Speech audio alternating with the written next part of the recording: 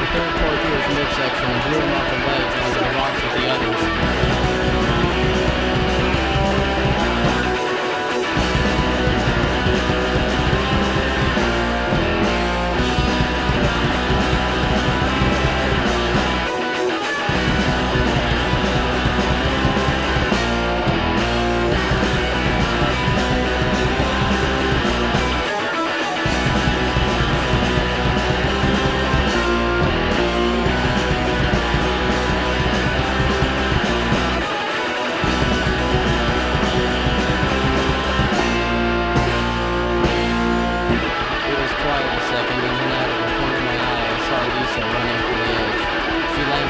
15 minutes